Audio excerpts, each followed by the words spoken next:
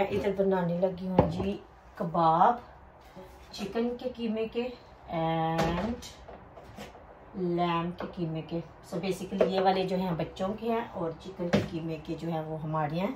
तो मैंने सोचा आपके साथ भी करते हैं रेसिपी शेयर तो जो चीज़ें मैं डालती हूँ कबाबों में मैं आपको बताती हूँ। अनियन डालती हूँ टमाटर green chilli yes ginger and garlic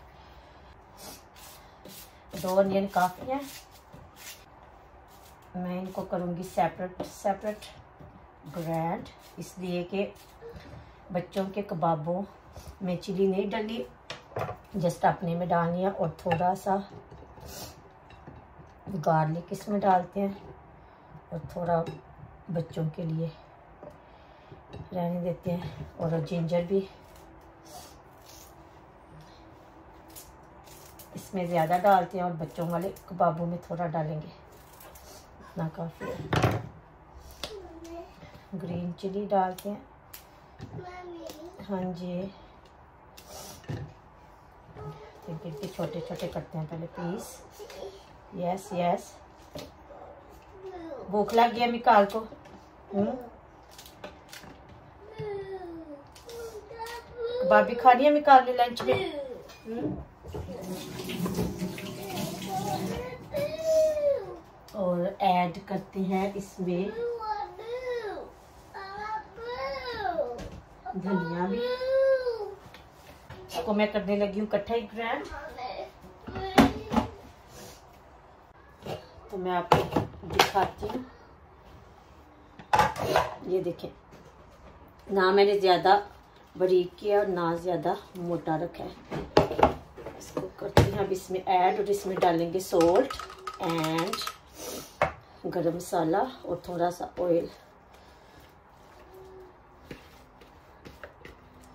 think पहले देखती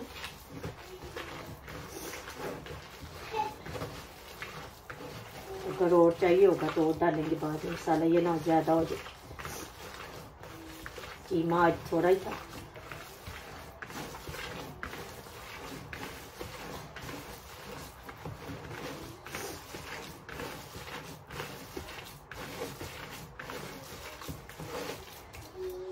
डाल देते हैं सारा ही। जितना ज़्यादा मसाला होगा उतने ज़्यादा टेस्टी बनेंगे कबाब। इसको वॉश नहीं करना। इसके अंदर अब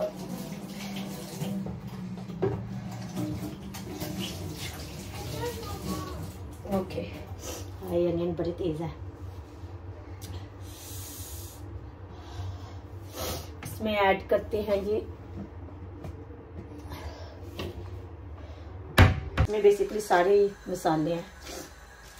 कुछ लोग तो वैसे पीस के रख लेते हैं, मैं नहीं पीस के रखती। इसलिए कि जब आप यूज़ करें, तब उसको ऐसे पहले करें थोड़ा सा फ्राई फिर उसको या तो ग्राइंड करें या फिर इसमें कूटे।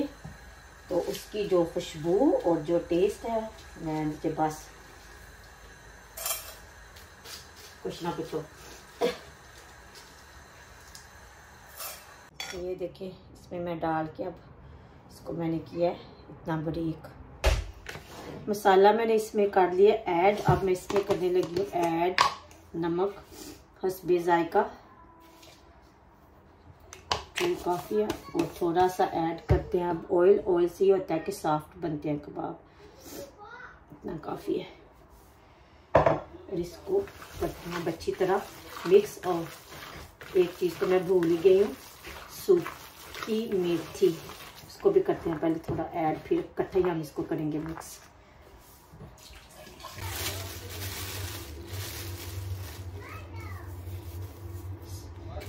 सूखी मेथी से भी काफ़ी टेस्ट आता है, इतनी काफ़ी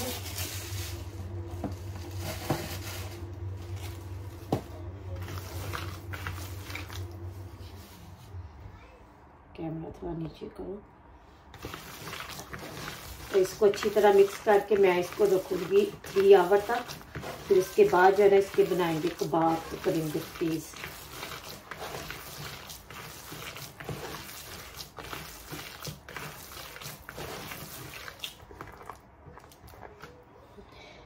थ्री आवर तक। तो तब तक बच्चों का करते हैं मिक्स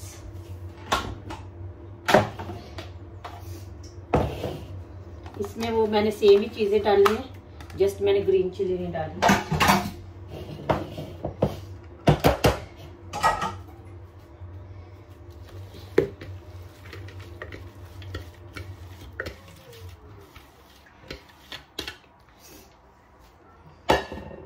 ऐड करते हैं ऑयल भी इसमें। इसमें थोड़ा ज़्यादा करेंगे इसलिए कि जो ये लैम की थोड़ी ड्राई होता है, कीमा। और इसलिए थोड़ा ज़्यादा करेंगे ऐड ऑयल और अब ऐड करते हैं सोल्ट हसबे जायका ठीक इतना काफ़ी होगा। और ये जो मैंने मसाला दिखे, किया मैं कहती हूँ, इसकी स्मेल खुशबू। कुछ ना पूछे। मैं आपको बयान नहीं कर सकती, कैमरे में आप खुद ट्राई करना है इसको भून के और ग्राइंड करके यूज़ करें। इतना काफ़ी है।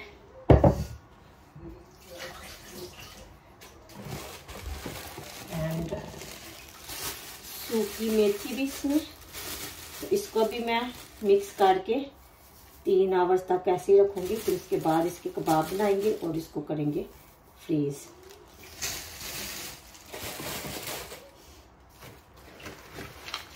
अच्छी डाल है। बच्चों के लिए कबाब।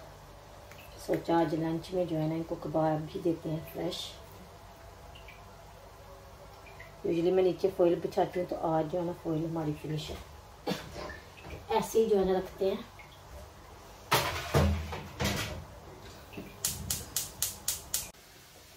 इधर मैं बना रही हूँ जी सूप बटर में। इसके अंदर ऐड करते हैं अदरक।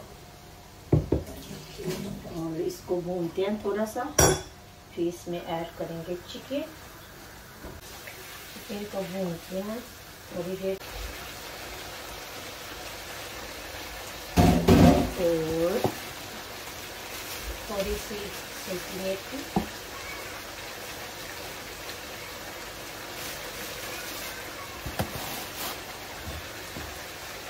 एंड थोड़ा सा लेमन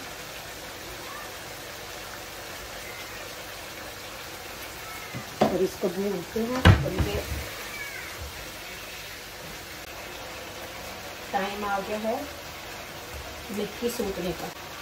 टमाटर कमली लुक अब इसमें मैं ऐड करने लगी हूँ पानी। बॉईल करके इसलिए कि जल्दी हो जाएगा दूर चेक करें आप हमारे। इतना काफ़ी है।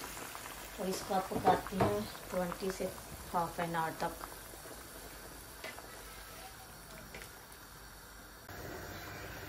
इतना ही रखना है जी थिन इसके अंदर ऐड करते हैं थोड़ा सा धनिया। और इसको करते हैं फिर फ्लेम को बंद।